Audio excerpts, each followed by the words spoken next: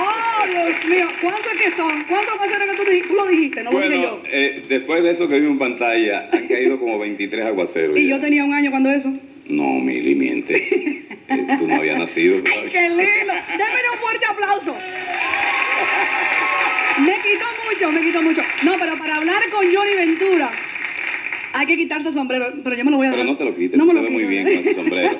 Parece una muñequita. ¿Verdad que sí? Ya, ya, ya, Ay, ya yo sé por qué tú- Ya ustedes saben por qué le dicen Sí. el negro que bota miel por los poros, ¿verdad que sí? ¿Eh? Es un caballero. No, eh, yo, yo lo que quería decir era que, bueno, para hablar con este señor hay que decir usted y tenga. ¿eh?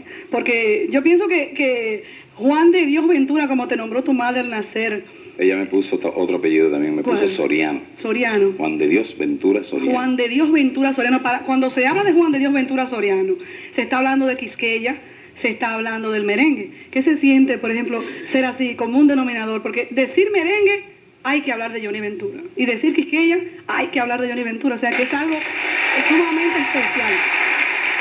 Mira, en este programa se supone que yo debo hablar cosas contigo, pero tú estás diciendo todo lo que yo voy a decir de ti. No, pero ¿qué se siente? Porque Pero mira, tú, tú has dicho todo lo que yo voy a decir de ti. No, hombre, no. ¿Y entonces qué yo voy a decir ahorita? No. Eso era lo que yo había pensado de ti. Yo te voy a decir una cosa, ¿eh? ¿Eh? Te, te voy a decir una cosa. Tú Mili eres... Quesada es Quisqueya. Tú estás No, exactamente señor. en el mismo Mm. centro de la, de la bandera, y donde está el, el escudo grande.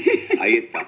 Tú sabes lo que yo he dicho siempre, que ¿Qué? cuando, cuando hicieron el sabor, hicieron a Mili, un consomé de sabor. Entonces, otro consomé y pusieron a, a Jocelyn al lado. Y después botaron ese material y ya no hay nada.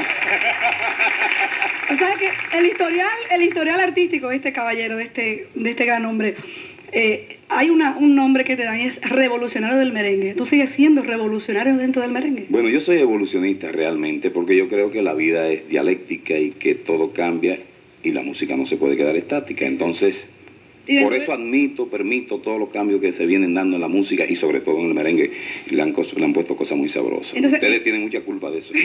Y dentro de esa evolución musical, ¿dónde estás tú? ¿Qué estás haciendo ahora? Que mm, alguien habló ahí, pitaste y te están pitando. Yo sé que hay Pues algo. mira, en estos momentos, paseando por el mundo, en la ciudad de los rascacielos, eh, eh, estoy al lado de una de las mujeres más hermosas de mi país, una cantante extraordinaria, eh, y paseando el mundo, ¿Y- promocionando Eso el disco nuevo ¿cómo se llama? que se llama Johnny Siempre Johnny, se llama el LP. Johnny es siempre Johnny. Vamos a seguir con eso. ¿Qué vas a cantar? Voy a cantar un tema que compuso el rey del merengue, Joseito Mateo, se llama Merenguero hasta la tambora. Y yo Igual a, que tú. yo lo voy a bailar con Luis Velasco. Me voy.